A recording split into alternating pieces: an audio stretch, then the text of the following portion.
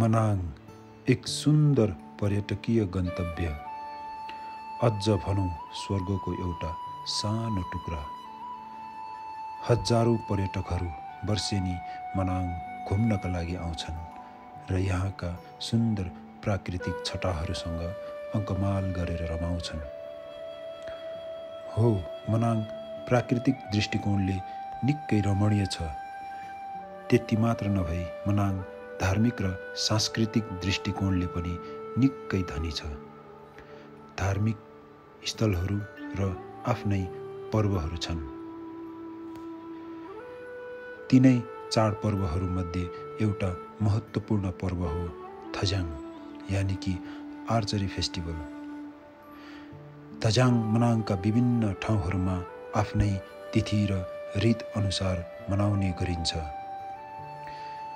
त्यसैमा तल्लो मनाङका बगरछाप र धानग्युमा पनि आफ्नै तिथिअनुसार थजाङ पर्व खुब रमाइलो गरी मनाइन्छ। यसै धानग्यु र बगरछापको थजाङको सेरोफेरोमा हामी भिजिट मनाङले एउटा छोटो भिडियो कोसेली स्वरूप यहाँहरू समक्ष पस्किन गइरहेका छौँ। हेर्नुहोस् समीक्षा गर्नुहोस् र प्रतिक्रिया दिनुहोस्। धन्यवाद।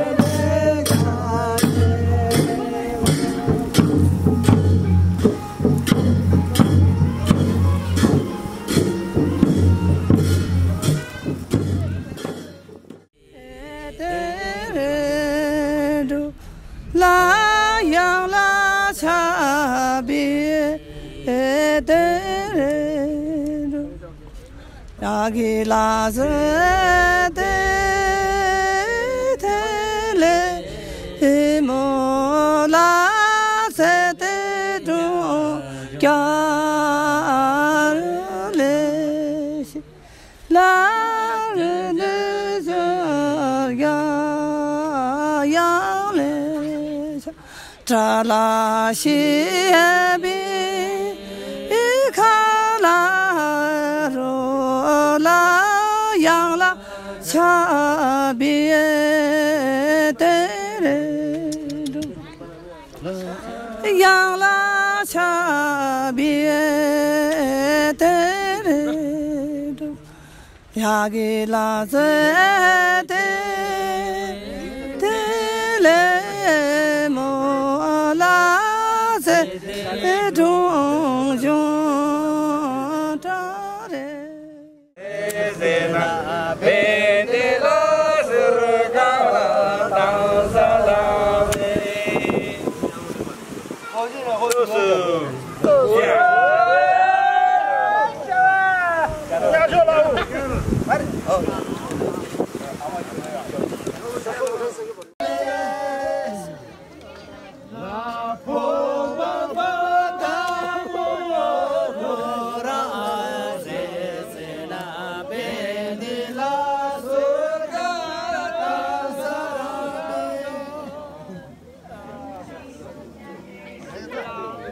कसरी छुट्याउने कसरी यसरी भनिदिनु न यो?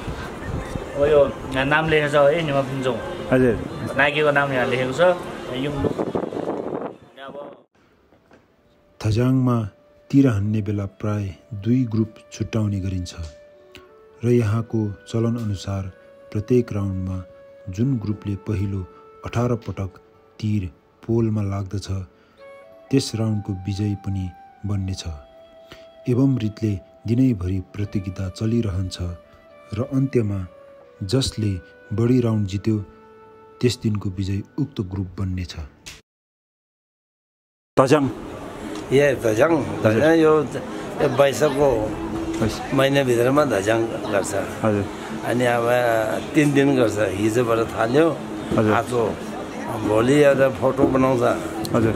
अनि फोटो टाँग्छ लिङ्ग तुलसी। त्यहाँदेखि त्यही फोटोलाई लाग्यो भने काम सिद्धियो अनि त्यसलाई उजालेर त्यसलाई मान गर्ने खाता लाउने पैसा चलाउने। हजुर।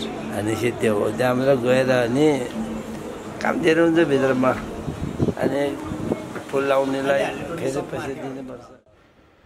उहाँ हुनुहुन्छ गाउँका वरिष्ठ लामा गुरु लामा पेमा।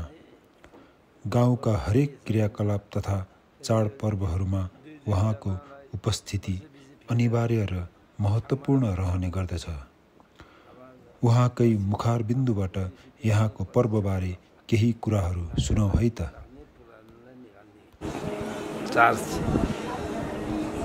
ज्ञानक्योङ भन्छ हजुर। ट्रा भन्ने एउटा शब्द जस्तो। आफूलाई आफ्नो आ- लाई दुःखमा गर्ने अशान्ति गर्ने चिजहरूलाई त्यसै अब तुलसी गर्यो अनि आफ्नो ज्ञानक्योङ भनेपछि सबै गाउँको सबै मिलेर खानापिने एउटैसँग गरेर बस खान्छ भोलि। यो लागिसकेर भने त्यहाँ गाउँमा पनि गएर सबै यो खाने यहाँ क्याउँछ अब राम्रो भयो। खेल सबै हामीले घरमा गरिसक्यो। अब गाउँ गाउँ मान्छे सबै हाम्रो अब खाने पिउने मटरले खाएर बस्ने भनेर यति चलनहरू गर्छ। अनि तजाङ पहिला र अहिलेमा के फरक छ? फरक छैन अब गीत चालु त चलन त एउटै हो गीत गाउने जाने र नजानेको फरक हो। गीत गाउने जान्नेहरू चाहिँ धेरै रमाइलो गर्छ। अहिले त्यहाँ सङ्घले अलिअलि गर्छ चाहिँ पनि उसो छैन। छिठिराहरूले तालिम भएको छैन गीत जान्दै बुझ्दैन। अनि त्यति गाउनु खोज्छ अनि तर हिसाब त्यहाँ हान्ने बेलामा पहिले लामा चाहिने। लामा किन चाहियो भने अब धार्दा गर्दाखेरि साजी हुन्छ। अब साझाहरू फुकाउने देउदे देउराहरूले सर्किम चलाउने गाउँको देउता भने उहाँमाथि। झन्डा बगरसम्म लाग्छ यहाँ पनि लाग्छ झन्डा राख्ने गाउँको देउता पुज्ने। त्यहाँबाट हामी फेरि यो तिरी खेल्ने ठाउँको जग्गा चाहिँ साझाहरू पनि सर्किम गरेर फुकाउने हामी यसो खेल्नेको चाड गरेको छ। यहाँतिरको छेकपेट भए तापनि एकछिन तिन दिनसम्मलाई हामीले छोडिदिउँ तपाईँलाई अलि सारेर भन्नु बसिदिउँ भनेर यस्तो यस्तो। गीत गाउने हिसाब पनि त्यो अब देउता देवीले हानेको होइन लक्ष्मीले हानेको होइन गाउँ घरको मान्छेहरूले हानेको होइन सदुरहरूले धर्मको शत्रु गर्ने यस्तो चिजहरूलाई क्षेत्रले हाने हान्ने हो भनेर तर धेरै हुन्छ अहिले मैले यादहरू भने यसको पहिला पहिलाको इतिहासको बारे भन्न सक्नुहुन्छ? कसरी सुरु भयो? यो सुरु हुने चाहिँ त्यो अहिले त्यो त हाम्रो होममा नै चाहिँ राउन्ड र के अरे? राउन्ड राम। हो त्यो त्यो खेल्थ्यो नि सरी सरी सरी सरी भन्नुहोस् है। त्यो त्यो त्यही जस्तो हो नि देवता र छेदाहरू लडेन भइरहेको थियो नि भने देवताहरूले खेलेर भन्ने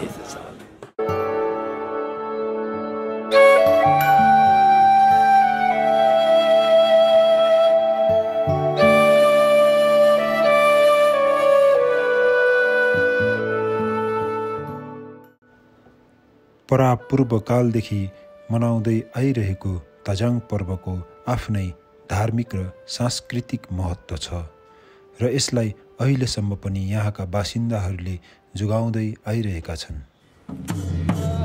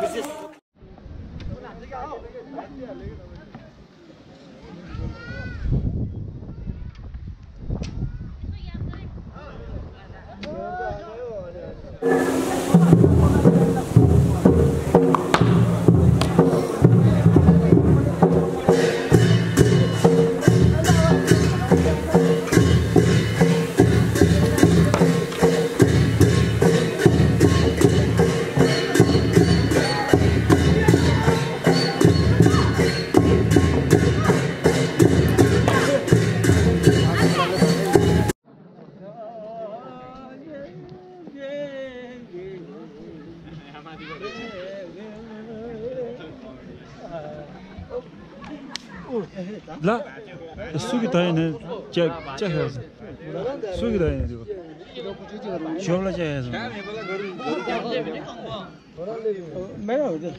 गयो आफ्नै त रहेछ अर्का गयो भने है आ- आफ्नै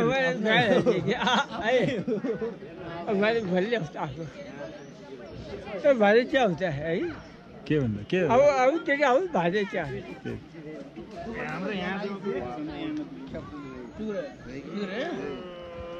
हुन्छ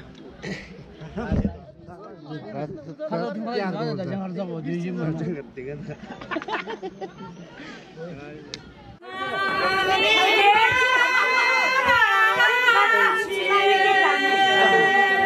अब के के अब भाले चिया युजी मना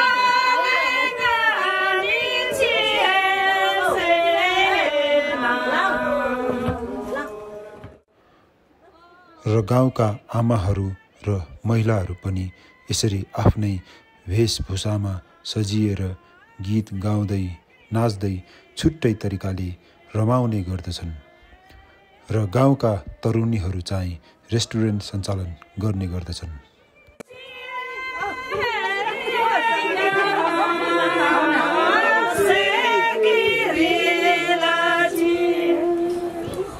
Yeah.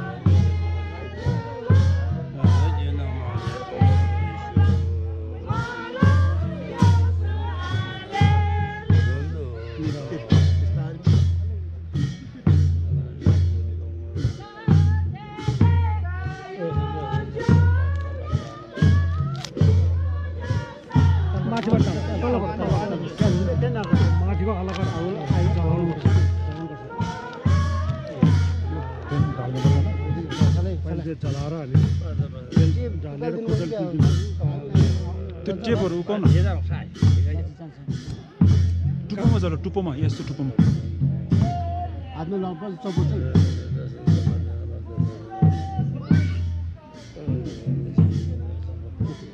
टुप्पोमा चलाउन यताबाट चल्दैन कि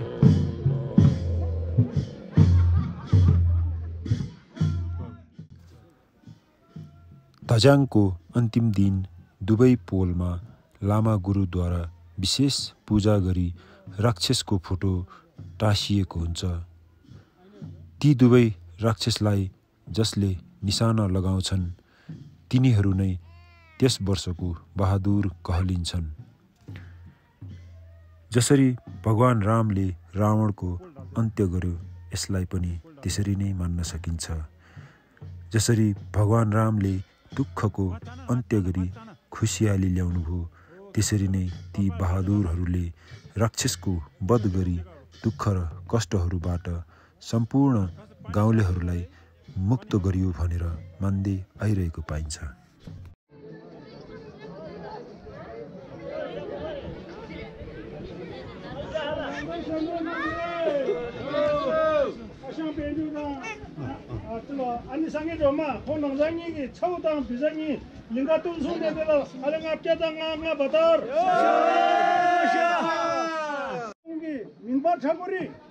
지고니 아타 니그라 노래 호 노니기 링가 뚱순 다 강마라 저 중다니 다 마네 당가라 비송미 나나니 다 막바 옹디라 예비라 다 아오고라 다 또지 하로서 잡고 중디 저는 거기 노 노니 링가 뚱순데 되라 아니 비자다 아랭아 바다르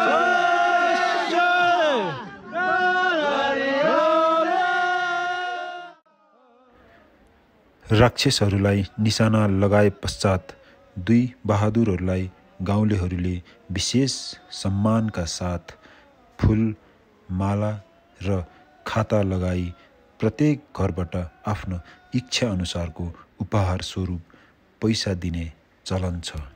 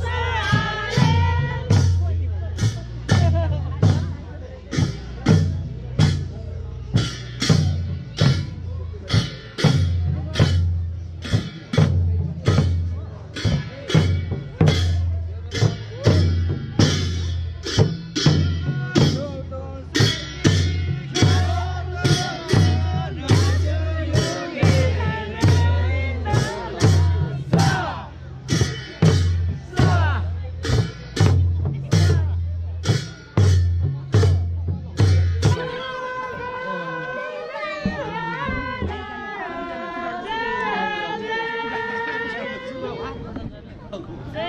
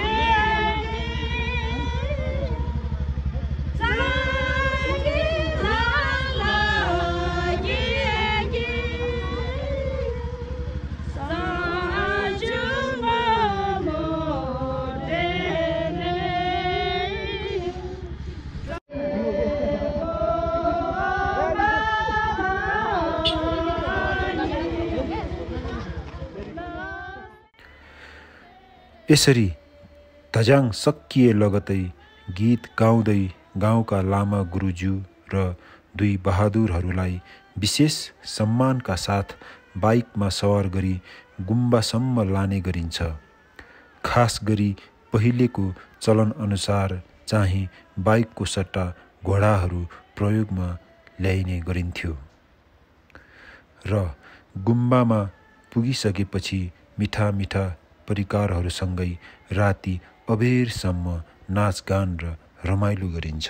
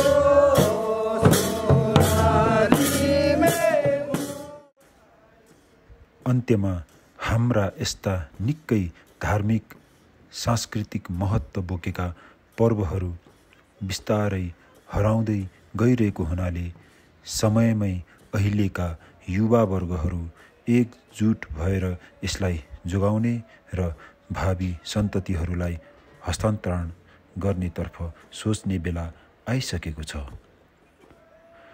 अबको हाम्रो पुस्ताले पनि यसमा पहल गरिएन भने यस्ता महत्त्व बोकेका हाम्रा थुप्रै संस्कृतिहरू विलिन भएर जानेछ र हामीलाई हाम्रा आगामी पुस्ताहरूले कतै न कतै पक्कै धिक्कार्नेछ। त्यसैले म यो भिडियो मार्फत नै अहिलेका सम्पूर्ण युवावर्गहरूमा यसलाई जोगाउनतर्फ अग्रसर हुनुहोस् भनी विनम्र अनुरोध गर्दछु। धन्यवाद।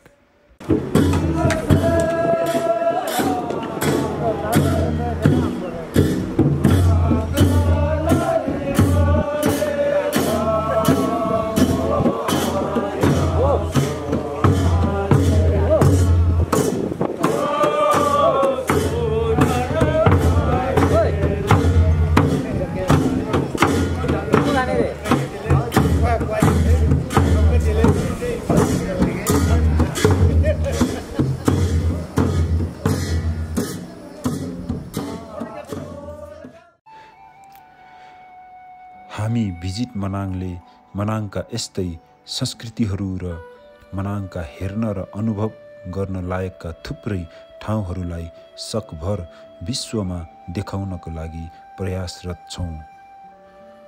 हजुरहरूको सहयोग र माया बिना त्यो सम्भव पनि छैन।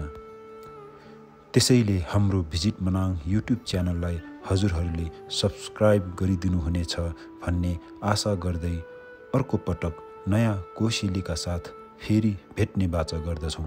धन्यवाद।